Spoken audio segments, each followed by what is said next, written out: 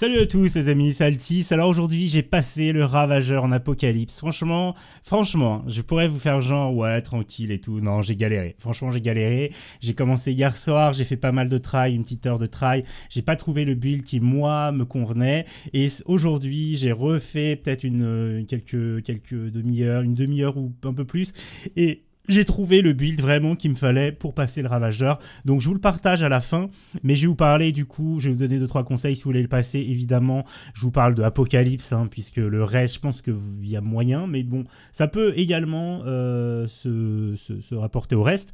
Donc euh, au reste des difficultés, pardon, j'ai du mal à exprimer. Donc du coup, comment j'ai fait pour passer ça? Moi j'ai une PM qui met euh, de l'acide, j'ai l'arme du ravageur d'ailleurs, je vous ai mis, euh, si vous voulez aller la chercher, j'ai une vidéo également, il va falloir tuer le ravageur mais vous pouvez le faire en facile euh, donc voilà, et euh, c'est le sans pitié, et bah du coup j'utilise ça, et j'utilise la plus grosse armure, celle de Leto MK2, avec un anneau qui me permet de faire les meilleures roulades les plus rapides, même en ayant du poids, même en étant un poids lourd. Et du coup, bah franchement ça marche bien pour ce boss, puisque sinon il vous one-shot souvent si vous êtes en léger, et du coup, vu que j'avais pas l'ambition de le faire en no hit, c'est-à-dire de pas me faire toucher, je me suis dit, je vais quand même essayer de tanker au maximum. Et franchement, c'est mais vraiment, ça m'a bien, c'était bien, ça correspondait bien à mes attentes de ce que je voulais. Par exemple, là, je me suis pas fait one shot, je peux me resoigner et repartir. Alors, il va falloir apprendre le pattern de ces attaques au début. Il y a la vague, il y a les attaques quand il vous fait euh, trois espèces coups de, museau là. C'est assez chaud, il faut éviter la première. Après, vous avez un petit temps. Vous allez avoir encore euh, deux attaques et en fait, je sais pas, parfois, bah, là, je vous dis, il a fait encore un truc différent. Euh, et parfois, il pose des petites boules par terre, comme vous voyez là derrière moi, il y a la boule, plus la vague. Bref, il y a plein de trucs à gérer en même temps. Et c'est pour ça, moi, ce que je vous conseille, c'est de prendre une boîte de mun, ou deux, ou trois, ou quatre. si vous avez de l'argent, faites des réserves de boîtes de mun. Comme ça, vous n'aurez pas besoin d'avoir votre esprit et votre cerveau distrait par Ah, il faut que j'aille chercher ces munitions, etc., etc. Quand vous en avez pu, vous prenez une boîte de mun. Moi, j'en ai utilisé plusieurs là pendant ce run. Et comme ça, ça m'a permis de du tout me euh, focus sur autre chose. Quand vous passez en deuxième phase, c'est complètement différent et limite la deuxième phase, moi j'ai trouvé plus facile puisqu'en gros vous allez voir, vous, vous pouvez prendre plus de distance avec lui, lui faire des phases de DPS et de temps en temps euh, il va essayer de vous attirer comme ça vers lui. À la fin, il va essayer de vous attirer pour faire des vagues. Mais franchement, la technique vraiment pour la deuxième phase, c'est d'être le plus loin possible de lui. Essayez également pour la première phase de faire en sorte qu'il casse tous les piliers. Euh, parce que vous allez avoir beaucoup plus de facilité. Vous ne coincerez pas dans un pilier. Les piliers, c'est vraiment chiant. Hein. Honnêtement, parfois, ça vous coince et ça vous fait rater votre essai. Donc voilà. À la fin, il va juste vous rusher de loin comme ça. L'attaque est pas trop dure à éviter. Après, il fait la vague. Ça, c'est un coup à prendre. Et puis après, bah écoutez, n'hésitez pas à lui mettre du dot, euh, du dégât de dot. C'est-à-dire là, par exemple, avec mon, mon mode, je lui ai mis quelques dégâts euh, qui persistent. Vous savez, il prend des dégâts toutes les secondes. Et c'est pas mal de mettre du dot parce que franchement, sinon, c'est quand même, euh, il y a quand même énormément de vie. Et du coup, si vous mettez du, un peu de dot, là, j'ai du saignement aussi qui se met avec cette arme. Et bah, ce qui est pas mal, c'est que voilà, il prend un peu toujours des dégâts, vous voyez, et ça fait avancer la barre de temps en temps un peu plus vite. N'hésitez pas à lui balancer évidemment tous vos modes. Alors je sais qu'il y a d'autres builds pour le passer, mais moi c'est vraiment ce qui, me correspondait le mieux. J'ai pas trop réussi avec les autres builds en léger et tout, donc voilà, je vous conseille ça. Grosse protection, mais l'anneau qui vous met la roulade, tout le build sera donné à la fin de la vidéo, et je vous souhaite euh, du coup de réussir en apocalypse solo le Ravageur. Sur ce, bah, je vous laisse avec la fin du gameplay, vous allez voir le build à la fin.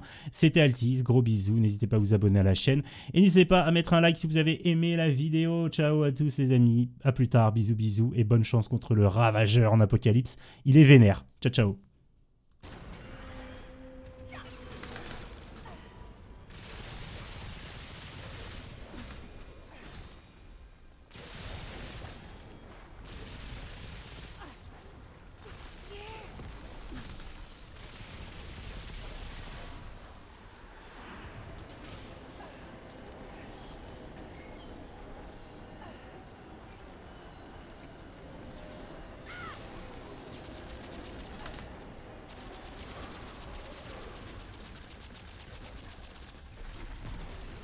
Non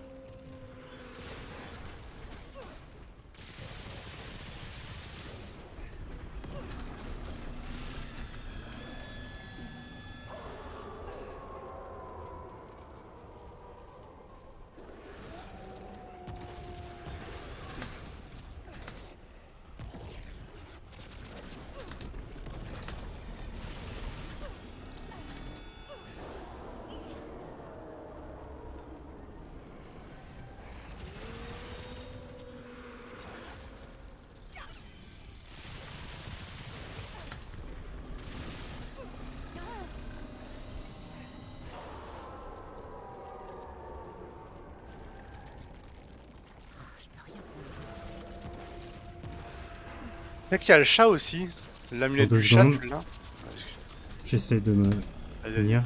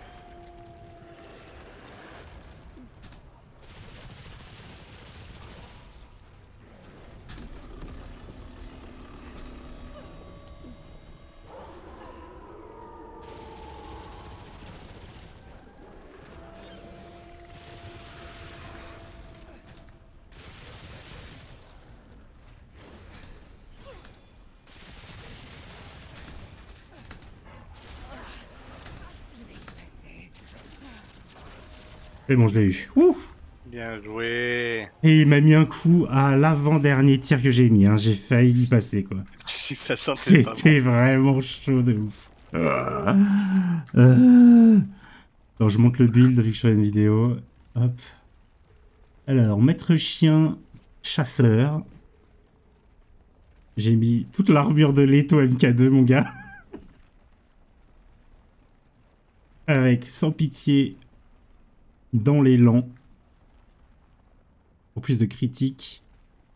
Harmonie et tir corrosif sur le Tech 22 pour avoir du dot, le tir corrosif et harmonie pour avoir plus de dégâts de mode et pour générer la puissance de mode de l'autre arme. L'anneau amulette de pouvoir pour le dégât. Anneau d'acier brillant vous confère une roulade d'esquive la plus rapide quelle que soit votre charge équipée. Vu que j'ai toute l'armure la plus lourde. Tiers de malveillance, les dégâts élémentaires génèrent 15% de puissance de mode supplémentaire. Pierre d'équilibre augmente tous les dégâts de 7%. Et anneau de diversion augmente la fenêtre d'invulnérabilité lors d'une esquive ou d'une glissade. C'est un peu un build de fuyard, mais c'est comme ça que je l'ai passé vraiment plus facilement qu'en full dégâts. Voilà, voilà.